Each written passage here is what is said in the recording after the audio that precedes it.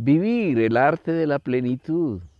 la vía de la abundancia, de la fluidez, de la corriente abundante de la vida, del amor. Pero claro, a veces nos confundimos y creemos que vivir es sobrevivir, que vivir es vegetar, que vivir es prepararnos para la otra vida,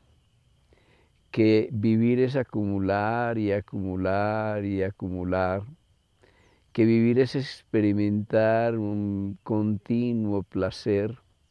que vivir es conquistar el poder, hasta que llega un día en que nos caemos del pedestal del poder y entramos en crisis de sentido.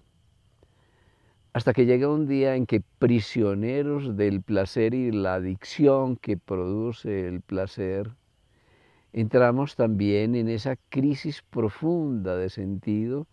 que implica el reconocer que hemos sacrificado la vida a lo que no es la vida y nos hemos convertido en esclavos del placer.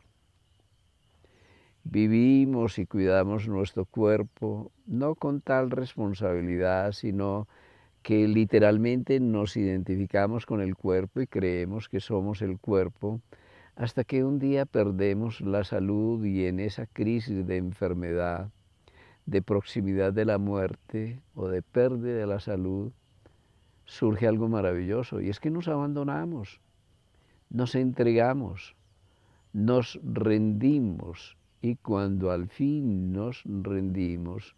fluimos, encontramos esa corriente profunda y serena del ser en la que realmente podemos disfrutar y entonces ya no vivimos para tantas cosas, no vivimos para la jubilación, no vivimos para los hijos, no vivimos para los otros, sino que vivimos por los otros, vivimos por los hijos, vivimos por nosotros, vivimos con nosotros, vivimos para vivir y en ese momento maravilloso de fluidez, de no resistencia, de rendimiento y de abandono, empezamos a ser felices. Y encontramos algo muy especial, y es que la felicidad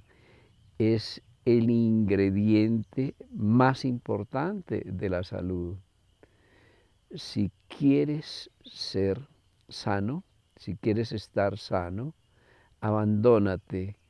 entrégate, fluye, encuéntrate contigo mismo, sumérgete en la corriente profunda del ser y desde esa serenidad emerge a la calma, emerge a la paz, emerge a un mundo sin expectativas y sin programaciones. Preséntate ante ti mismo, preséntate ante el Dios que te habita, está contigo de verdad y cuando te encuentras contigo, pues te encuentras con la economía de la abundancia, la economía de la presencia, la economía del ser, la economía de la salud. Allí donde no hay fricción y donde no hay resistencia, restauras esa memoria prodigiosa del plan de la vida que tú eres. En ese momento no te resistes al ser que eres.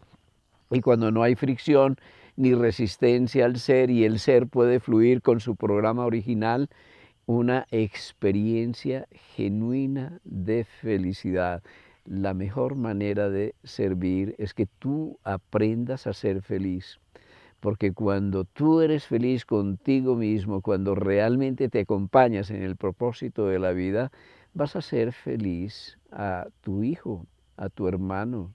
a tu esposa, a tu madre, a tu familia. Vas a ser felices a los demás y en ese cultivo de felicidad cada vez tú vas floreciendo, vas semillando, vas proyectándote hacia una felicidad mayor. La tierra de la vida, realmente estábamos confundidos, pero la tierra, tierra de la vida, es la tierra donde podemos cultivar la felicidad.